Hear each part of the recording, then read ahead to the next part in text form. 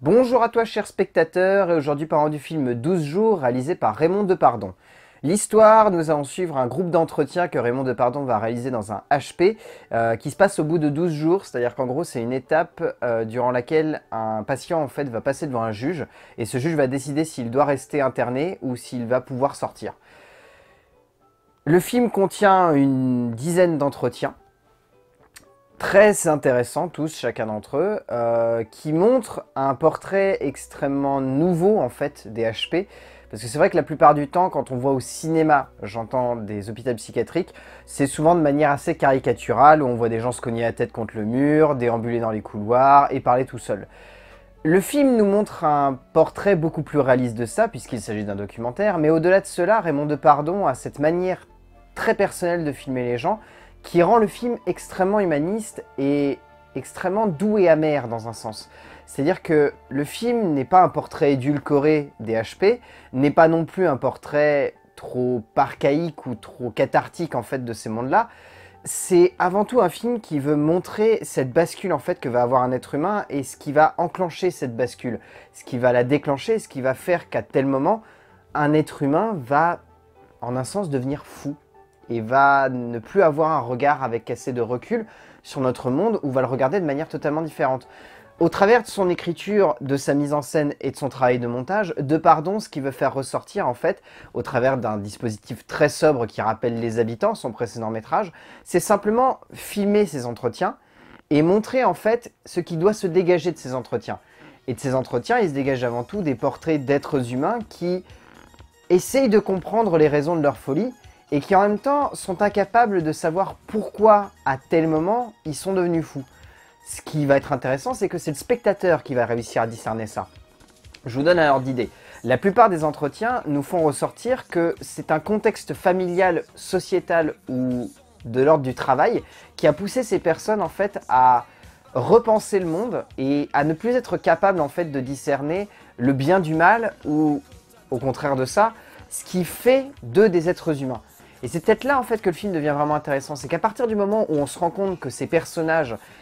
qui ont perdu toute connaissance en fait de l'idée d'émotion, de l'idée d'humanisme, de, l'idée de compréhension de l'autre, c'est ça en fait qui les fait basculer et qui leur fait comprendre en fait qu'ils ne sont plus en adéquation avec ce monde. Et à partir de là, le film devient vraiment passionnant parce que on se retrouve devant des hommes et des femmes qui ont eu un contexte, ont eu un rapport, ont eu une condition qui ont fait qu'ils ne se considèrent plus comme des êtres humains. Parce qu'ils n'ont plus été considérés comme des, êtres humains. Je pense à une femme qui, par exemple, euh,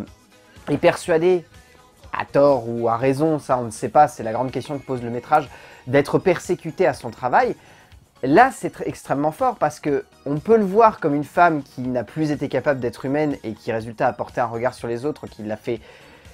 perdre pied complètement avec la réalité, ou on peut au contraire le voir comme des personnes qui ont tellement poussé une femme à ne plus être capable d'être humaine que résultat, elle s'est faite rejeter et elle s'est persuadée toute seule d'être folle.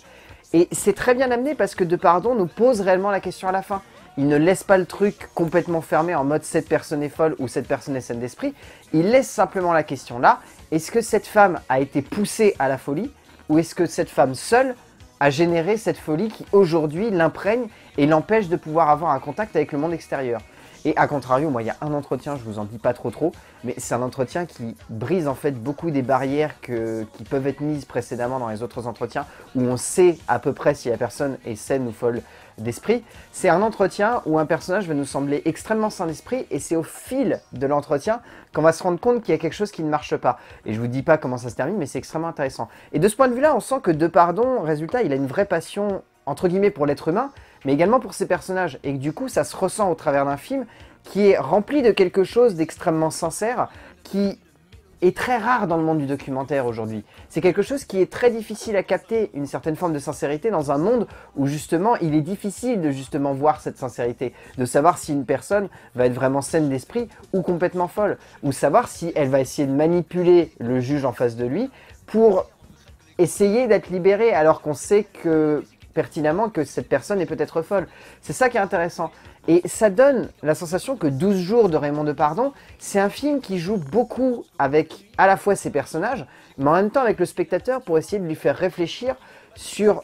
Est-ce qu'un être humain doit, doit être considéré fou par les autres ou est-ce que c'est lui seul qui peut être responsable et comprendre ainsi l'existence de sa folie C'est une question qui est très belle, que pose le long métrage, et qui fait que je vous conseille vraiment d'aller voir 12 jours de Raymond Depardon parce que c'est un film un peu à part, c'est un documentaire comme très peu de documentaristes savent en faire, et ça montre bien que Raymond Depardon est quand même un des derniers dinosaures du cinéma à savoir faire des documentaires avec autant d'humanisme et autant de poétisme, tout en étant amer et réaliste.